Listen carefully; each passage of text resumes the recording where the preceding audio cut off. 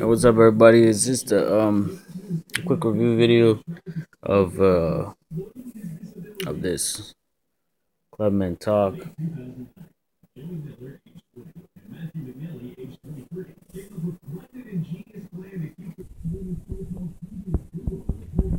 It's the uh, Pinaud.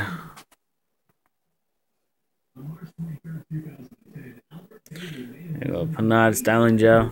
Um, the 16 ounce. Bought it at Sally's. Got it for 4.49 or something like that.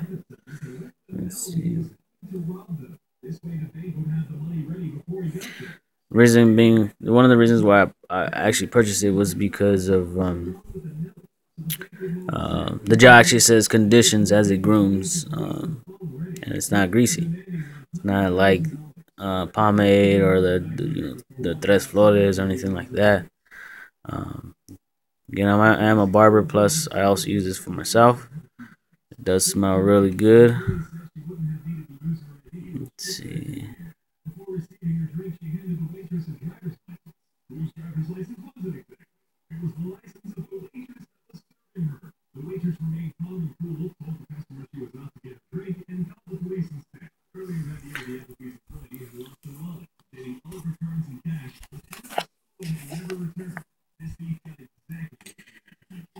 That smells really good.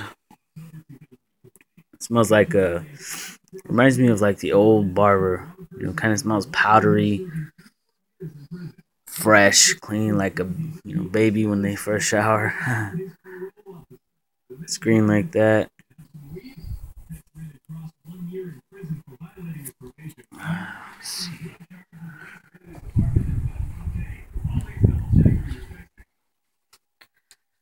put some in my hair earlier.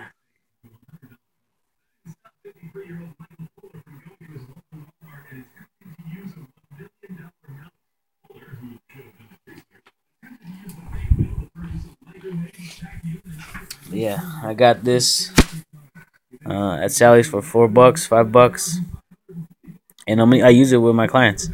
it smells great. Um, it works good.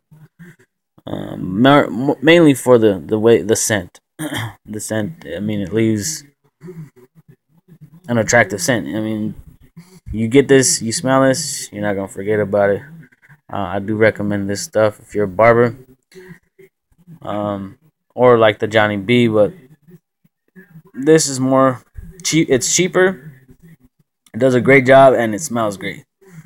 Uh, it's the classic Pinaud. You can't go wrong with that. It's just a little quick uh, review on how that my thoughts on the Pinaud Clubman uh, styling gel. Uh, I always, I keep the Clubman Talc, and um, I'm gonna be looking into some of that club the Clubman uh, aftershave. I just use the the cherry, uh, the cherry alcohol, and then the Jeris hair tonic. But if you uh, need need good gel, definitely try this out. You won't be